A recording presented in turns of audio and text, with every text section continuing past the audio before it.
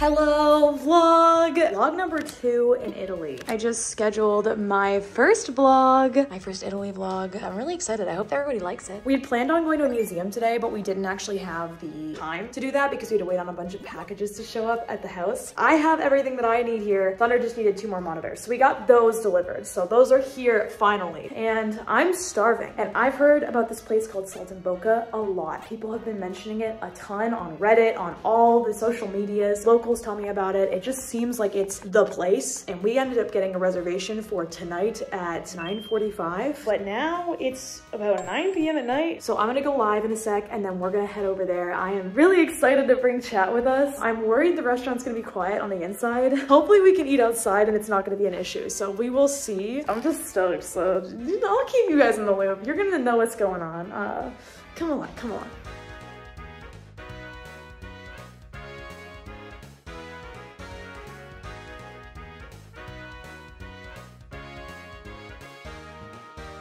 We're at this place called uh, Saltimbocca in Rome. The food here is really good. Honestly, the IRL streams have been going really well. Cell service has been peak with the uh, IRL backpack that we have. So it's been really smooth. 1080p, I think, the entire time. And, and chat's really enjoying themselves. That means I'm really enjoying myself.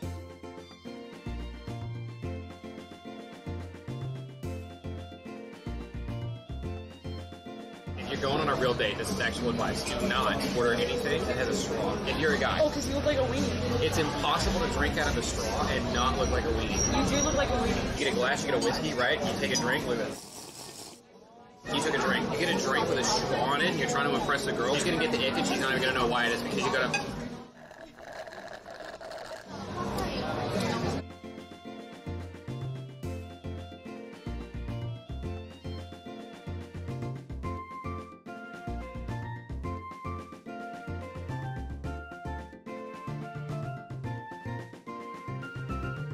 tiramisu for chat.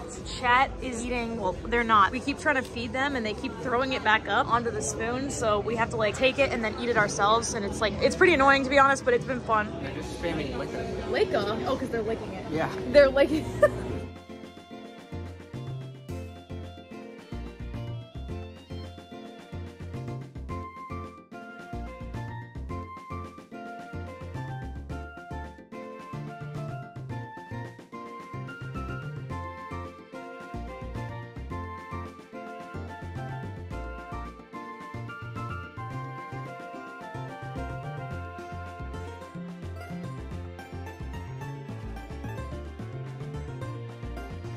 Okay, let's go. Okay, Goodbye- goodbye, goodbye, chat. chat.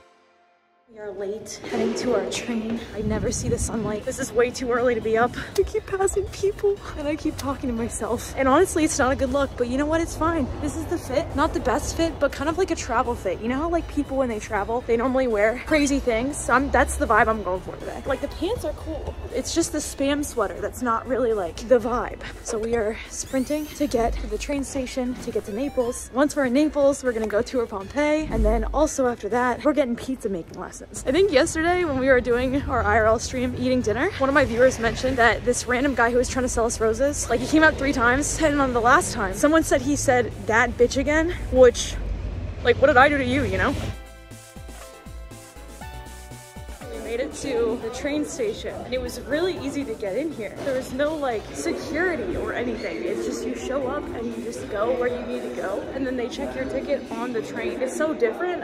Anyways, we're trying to find the platform we're supposed to be on because it doesn't say it on the like the boards. There's all these little boards like this everywhere and they kind of show you the plan for the week. We're gonna walk until we see uh, something that tells us where to go. Are you excited about our adventure today? Yeah. It's gonna be really cool and exciting. Yeah, we- We just need to find it.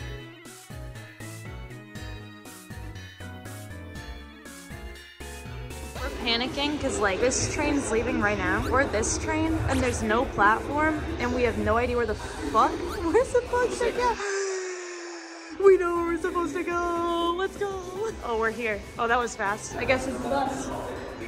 Huntington? Okay, hopefully the next clip you see is us on the plane. Plane? Gonna sit next to people we don't even know. Maybe. Non-stop train. There's not a lot of people in the car. You don't think there's gonna be a lot of people? Yeah, it's gonna be mostly empty. We're the only ones getting on the train in the beginning, and the train is actually scheduled to leave two minutes ago, so. We booked out an entire train just for our trip to Naples. I can't believe this. This is gonna be so sick. We're about to have a hide and seek competition and then choose the winners ourselves. Who's gonna win $100,000 today? Did you just laugh and cough? Yeah.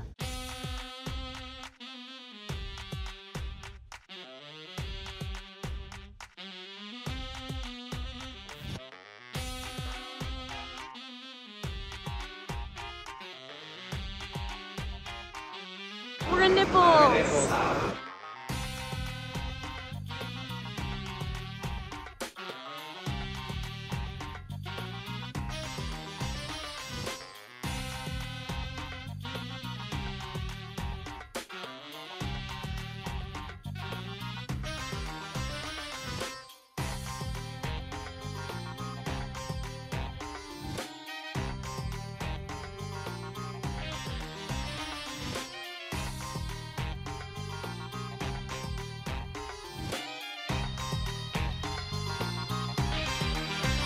Just finished our tour of Pompeii and we are very late. I severely underestimated how long it would take us to get back to Naples to the point where we might actually miss the pizza making class.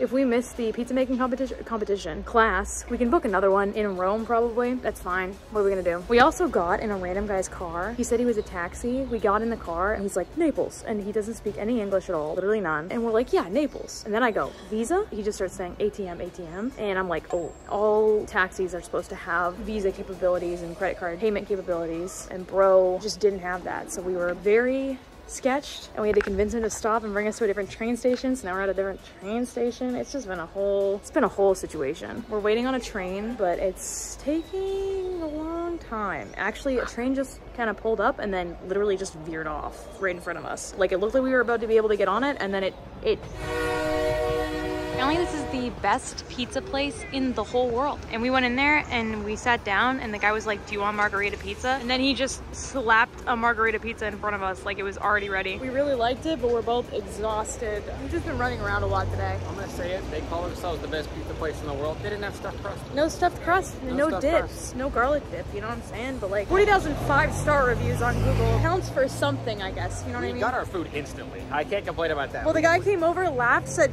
margarita pizza, and we went, yeah, sure. and then he brought them over. They and then he just already. immediately slapped that. Like, I can't stress how much this man slapped the pizza in front of us. Found a random museum. I think it's the National Roman Mu- Museum. If you look closely here, you'll see a sculpture of Voldemort before he decided to ditch the bowl cut.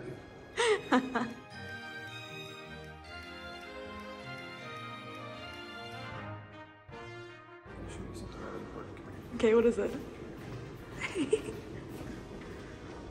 oh my god. Why is there nothing else than just a dick? It's pretty above average, I'd say. But apparently, back then, it was not sophisticated to have a large peen. So I, I don't know what that means, but maybe he's right. Who knows? A lot of ass in this room.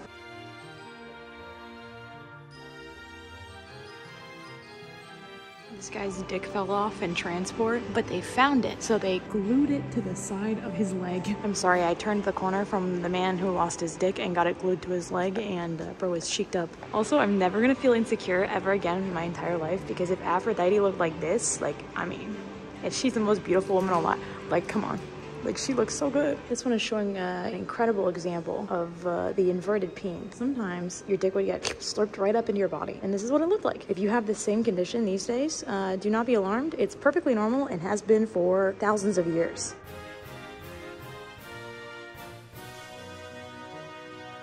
Can't believe they could do so much detail to the point where the dress looks like it's actually fabric. That's crazy.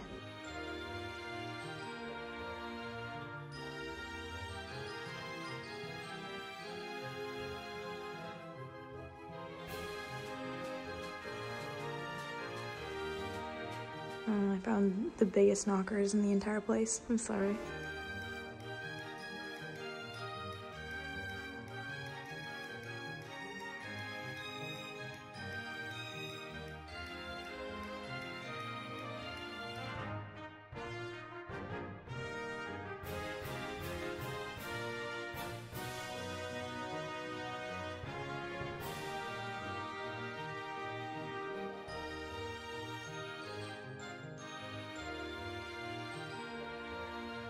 So crazy that they have like almost entire rooms of art that they were able to replicate. Not replicate, this is all original, but bring here and like kind of put on other walls. Like I just can't believe that they did that. That's so neat. But like even the roof of this room, they tried to replicate.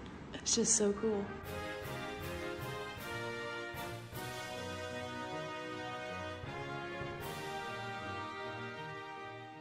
Okay, Thunder just discovered something insane. Can you teach us? Because Yeah. we've been here for like two weeks now. So this is a neat Italian trick that I just picked up on. I feel like I'm solving the Da Vinci Code or National Treasure or something, okay?